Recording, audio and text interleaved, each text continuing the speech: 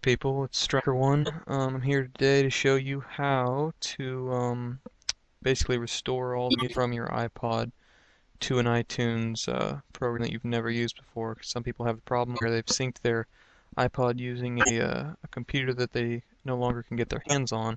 So when they go to plug their iPod into a, another iTunes program, it'll ask you to, uh, it says you've got to delete everything on your iPod to sync using the new iTunes program, but uh, you can actually fix this problem. You can store everything from your iPod. Here's how you do it. Um, make sure iTunes is closed. I've already plugged in my iPod, so let's go to uh, my computer if you're running XP or something before that. It'll just be computer if you're running uh, Vista or Windows 7. There's my iPod. Now, uh, I'm gonna go ahead and uh, hit the Alt key. I'm gonna bring up some more options here. Go to Tools, go to Folder Options, go to View, Go to Show Hidden Files and Folders, hit Apply, hit OK, and right here we've got two folders that have uh, appeared that were not there earlier. Go ahead and go into iPod Control and go into Music. Now all your music that's on your iPod is in this folder. However, they're all hidden, which is why they're kind of hazy. Um, go ahead and grab one of these. You can do all of them at once. I'm just going to show you on a smaller uh, smaller amount. I'm going to grab one of these right here. I'm going to copy it. Now I'm going to go ahead and uh, put this on my desktop because I really don't, uh, it's, just temporary. Why I'm doing that? Well, let's just wait on it.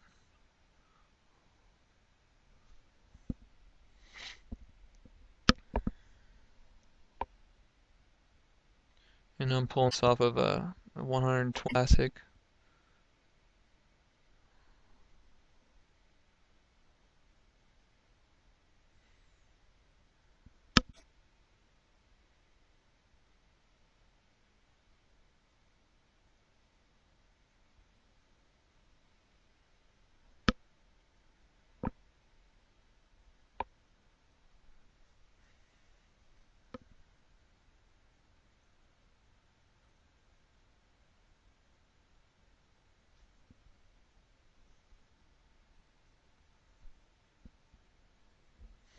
Yeah, Apple tries to make it kind of difficult to do this, but uh, I've never seen anyone do this, but here's an easy way to basically do this whole thing without downloading any of those programs they're always trying to sell on the internet.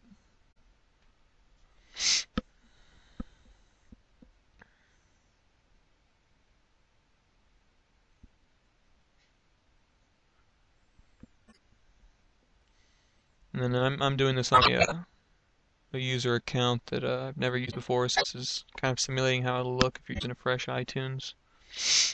Okay, so there we've got one of those folders on the desktop. It's transferred from the iPod. I'm just going to see something here. Uh, tell me.